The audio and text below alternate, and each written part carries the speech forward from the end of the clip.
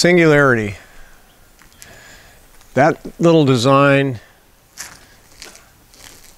came from like needing a really pocket friendly board in any kind of a condition that's that's kind of like playful to actually coming at you as low tide drainers and stuff like that.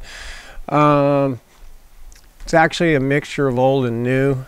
So it's kind of a it's a performance retro design if you could even say that, but that's the cool thing about it though. I love taking these older designs we grew up with surfing, we grew up building and we grew up kind of playing around on.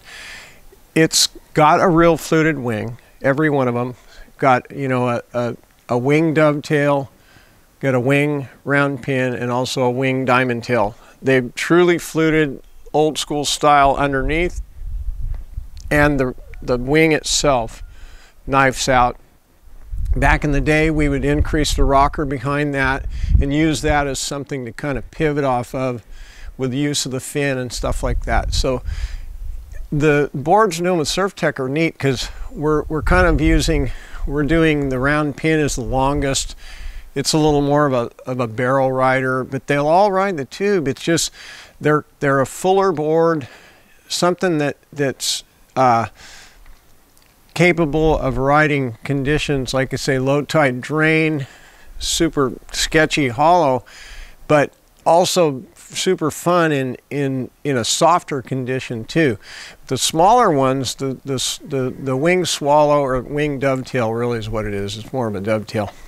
Um, that one, we're making those the shortest, narrowest, and thinnest, and then we're jumping up and we're running that one as like a twin fin and there's an option to put a stabilizer fin, a small true thing here, two and a quarter fin as Clyde Beatty used to call it, the two and a quarter.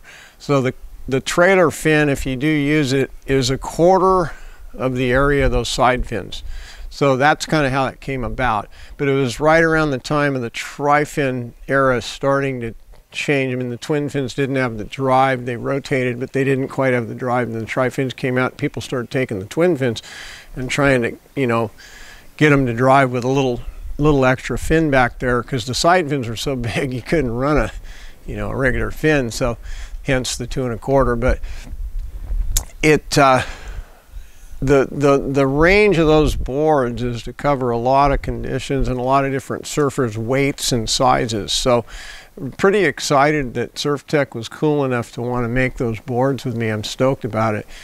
And uh, I think you're going to like them.